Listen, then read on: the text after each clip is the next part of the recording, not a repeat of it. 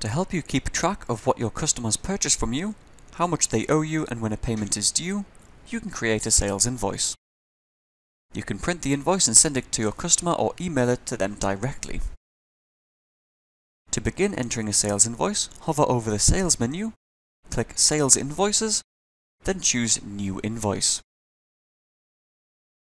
You can choose which customer to invoice by clicking the drop-down arrow, or you can start typing their name and Sage One will start to narrow down the list of customers for you to select from. If you do not have a contact record for your customer, you can create one by clicking the Add a Customer button.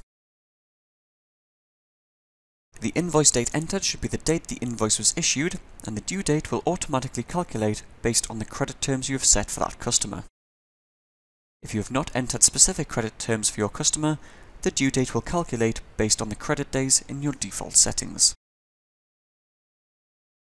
If required, enter a reference number. This could be a customer order number, for example. However, this isn't a mandatory field. The invoice address will automatically default to the main address on the customer record. If you do not have an address in your customer record, you will need to enter an address in manually by clicking in the Invoice Address box.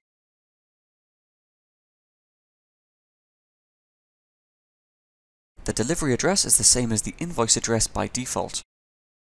If you would like to change it, click the drop-down menu and select the address you would like to change it to, or Custom to manually enter an address.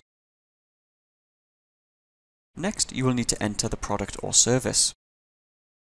You can use the drop-down box to choose from your products and services, or type the name or the code of the item to narrow down your search and choose the required option. If you have not entered any products or services, click Create Item. If you're selling a stock item, Sage One will inform you of any items you may have in stock and will warn you if you enter more than you have. If you are not invoicing for a product or service, then you'll need to enter the description of what you're selling, the ledger account you want to apply to this sale, and the quantity of items sold.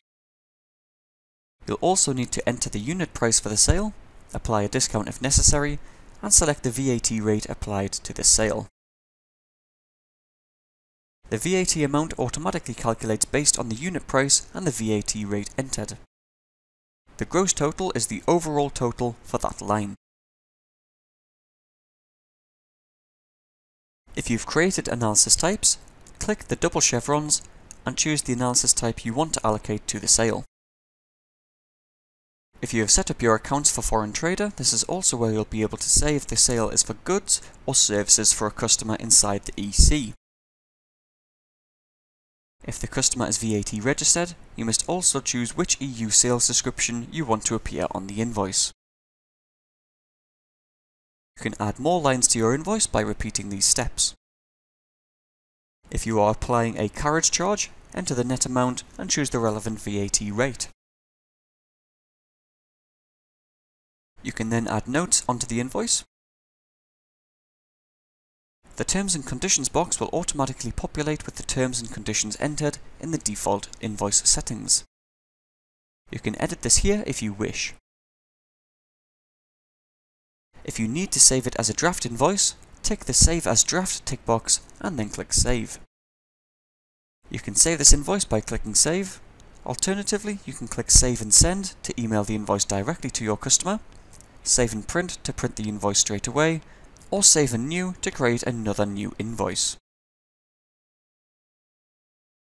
You have now successfully created a sales invoice in Sage One.